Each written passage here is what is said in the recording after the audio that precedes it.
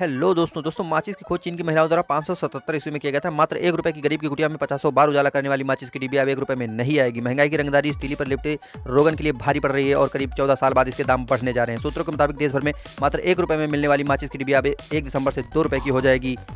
और महंगाई तो है ही